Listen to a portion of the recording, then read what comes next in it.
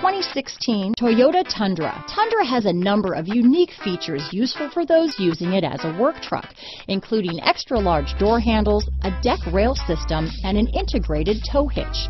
Included as standard are vehicle stability control, traction control, electronic brake force distribution, anti-lock brakes, and tailgate assist.